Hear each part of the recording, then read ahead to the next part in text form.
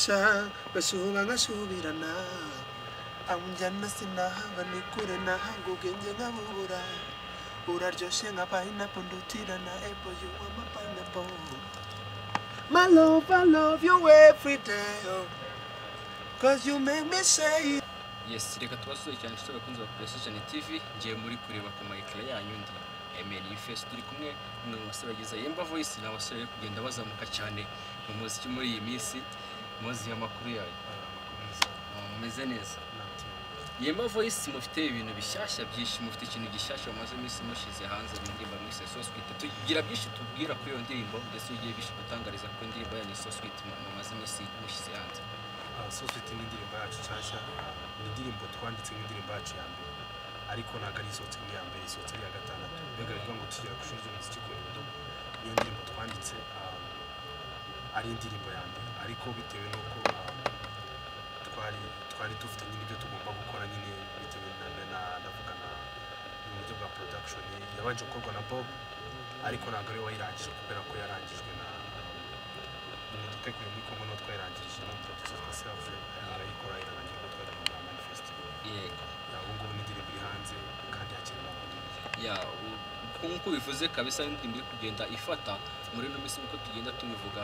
Ikindi nakubaza iriya ndirimbo duteguranye video yayo ryari? Muri yemba voice. Muri Yemba Voice dufite projet navuga ko dufite projet zitarasohoka hanze kandi abantu bakomeza kubisaba. Ndavuga nka video ya Go Down indirimbo dufite na Riderman. Abantu bari kudusaba cyane kubera ko ntabwo yagize nini cyane. Mu muziki cyacu nuko turakundana yagize Uh, bivuga ngo duf- dufite projet ebyiri hanze zose zigiye gusa-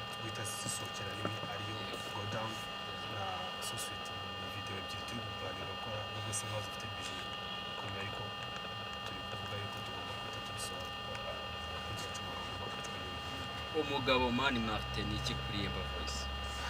Mani Martin ku bantu bamuzi ni umuntu ukunda umuziki. Ukunda umuziki mwiza ndavuga live music umuziki w'umwimerere. Ah, yakunze uko dukora natwe kandi two dusanzwe tumufata nk'umu- nk'umu legend nk'umuntu ukomeye mu muziki nyarwanda.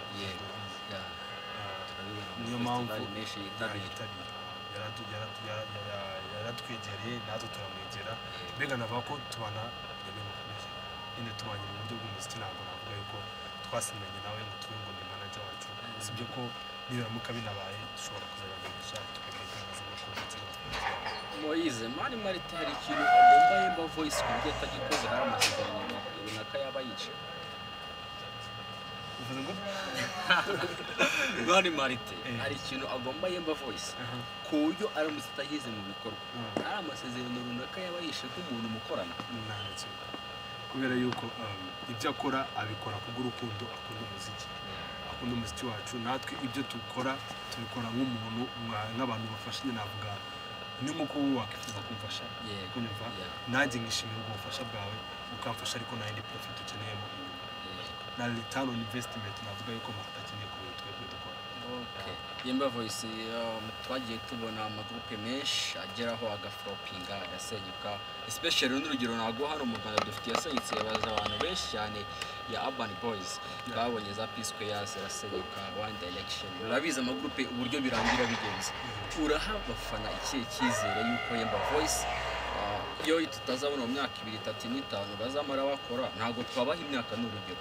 Ariko nta myaka runaka ishobora kuzagera Yemba Voice tukabona yasenyutse nk'uko andi magurupe yagenze. Uraduha ikihe cyizere nk'abakunzi b'umuziki nyarwanda kandi dukunda Yemba Voice ibigenda bituma amagurupe atandukanye turabizi kuko turabyumva buri gihe tukabibona. Niyo mpamvu natwe nka yemba voice tubigenderaho tukabyiga tubaza igihe cyatandukanyije gurupe gitandukanye n'iyo gurupe dukora uko dushoboye tukabyiga kandi mbere y'uko tumenyana na yemba voice turakunda bizinesi yo gukora umuziki inshuti mazi zitwara abantu turacyabana dukunze kuba turi muri muri navuga areas zimwe dushinzwe umuziki ku mudo dukunze no muri vacancy kuba turi kumwe cyane kuko dukora ama practice ahoraho so niyo mpamvu rero ngo Yemba Voice Kedi, Billy na Moise mwese mwiga ku none watubwiye yuko mufite poroje zigeze kuri ebyiri z'amavideos mushaka kuba mushyira hanze. Ah, izo poroje ninde uri kuzikoraho mu magana abiri tuzi hano mu rwanda b'amavidewo cyangwa se mwavutse mujya kureba uko abandi bakora. Navuga yuko ah, mbere yo gukora tutarabasha tuyipangira tutarabashije hari ibitarabasha kuba confirme neza ku bantu bagomba gukora video ariko urabizi ko iyo dukoze video tuyikorana n'abakorana na director bakorana mu gihugu Alvin nawe ufite tuzimira cyane ndetse bivuga ngo abantu bose dukorana nabo baba ari abantu b'ubundi bari pro. Turasezerana abafana bacu yuko batazigera babona video bavuga yuko itari ku rwego rw'izindi ziri gusohoka ya itsinda rya Imba Voice hari studio n'imwe mu Rwanda amajwi cyangwa se niba n'amarebo akora amajwi n'amashusho. Mwaba mufitanye amasezerano runaka y'imikoranire? Nayo. Ntayo ahubwo dukorana n'abantu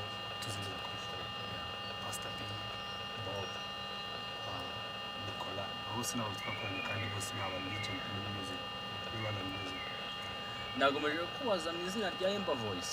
Ubyihanganire kuko ni we wihagarariye ubu ngubu ya Imba Voice tekereza iki kuri Primus Guma Guma Superstar? Primus Guma Superstar ni irushanwa ryiza kandi navuga ko rifa- rifasha abahanzi kugira ibyo bageraho yaba mu buryo bw'amafaranga yaba mu buryo bwo kuzamura platform bafite. Nka Yemba Voice nk'itsinda rikizamuka. Primus Guma Guma ni navuga yuko yatubera navuga mvugizi navuga yuko yatubera ikiraro cyo kugira ngo tumenyekanishe ibikorwa byacu ku bantu batari ba- ba- babimenya kubera yuko ni irushanwa rizenguruka mu gihugu hose.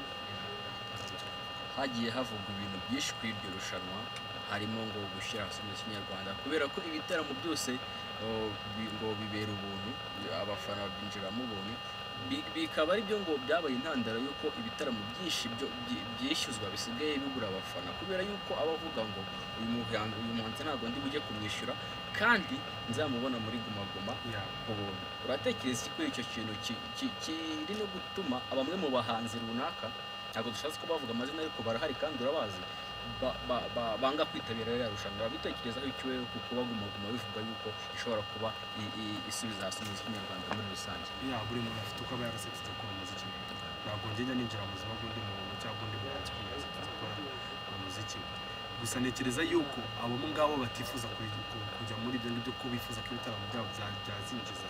Ku giti cyabo batajya muri baba bafite uko babyumva natwe Yemba Voice dufite uko tubyumva. Kimwe n'uko natwe dushaka kumva tutagiyemo bitewe n'uko dushaka kongera umuziki wacu muri ari imwe dushaka kujyamo navuga yuko rero um, si uko ari mbi cyangwa hari ikindi kintu kibi nyinenga kuko ni irushanwa rwose ryiza ariko buri muntu agira uburyo akora umuziki.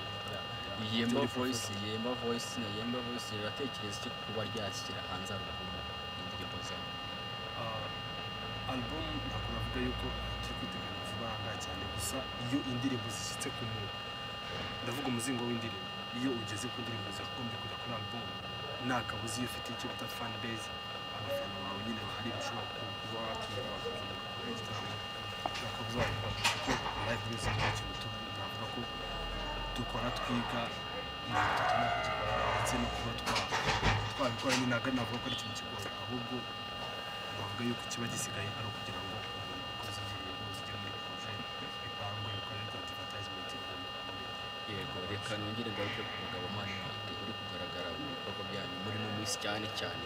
Mani marite hari eh, in- ngite inkunga cyangwa se ngite ubufasha mu buryo buri finance abaha? Cyane. Ashobora kwishyura studio rimwe na rimwe. None mu gusoza interview yacu ni iki wasaba abafana bo mu kinyarwanda ndetse n'abanyarwanda muri rusange na- muhagarika izina rya- rya Imba Voice uyu munsi twabashije gukorana mwayizi icya mbere ndashimira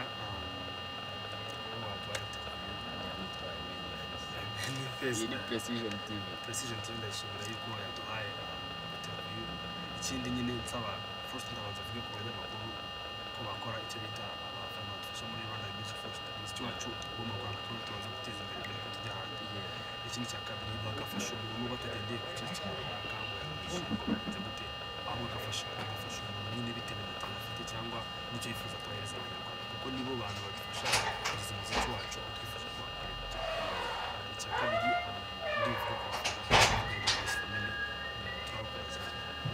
muzike n'ibindi nimba voice turabakunda cyane kandi nta na rimwe tuzigera duhagarika gukora umuziki mu gihe tutarabahereza ibyo bifuza cyangwa mu gihe bataranyurwa nyine n'ibyo tubaha tuzahora dukora umuziki ku buryo tuzabaha indirimbo nziza videwo nziza kandi bifite karite no mu majwi meza. Ikindi ah, ndasaba abantu kudukurikirana kuri social media zacu nimba voice ah, kuri instagram. Yemba voice bagakora subscribe kuri youtube channel yacu. Yemba voice. Ndetse n'izindi page zose kuri facebook twitter ni yemba voice. Ah, ikindi ntekereza ko udushaka ni naho watubona nyine kugira ngo dukorane kugira ngo ah, tugire inama ko dukunda ngo tugire inama tuva ari ibyo. Indirimbo nkunda arankunda nukuri turakundana. Sweet heart, sweet love oh, we need koto obunitkothuzina je nawe turakundana ulala ah, ulala ulala oh, oh, oh, yemba voice. Twebwe turabakunda urakoze cyane muzi